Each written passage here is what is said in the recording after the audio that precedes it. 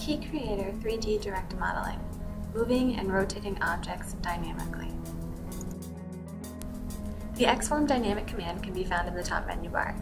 The conversation bar will then appear once this command is selected.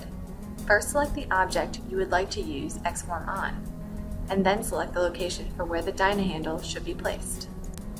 Using your left mouse button, you can select which direction you would like the object to move in.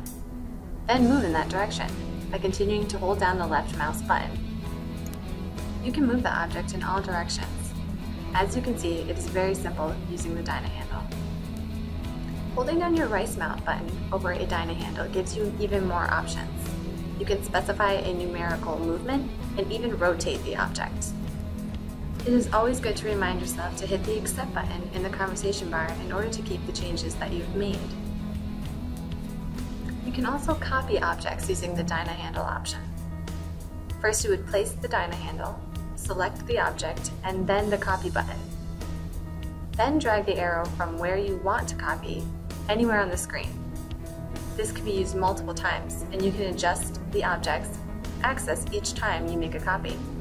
Again, always remember to hit accept to complete this command.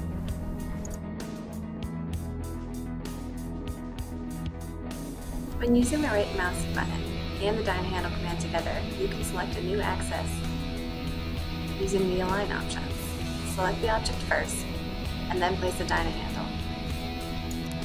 Next, select the arrow, right mouse click, and then select the vector. You can then move the object in that axis. Again, always hit accept for your changes to be made. And that concludes the KeyCreator Moving and Rotating Objects Dynamically video tutorial.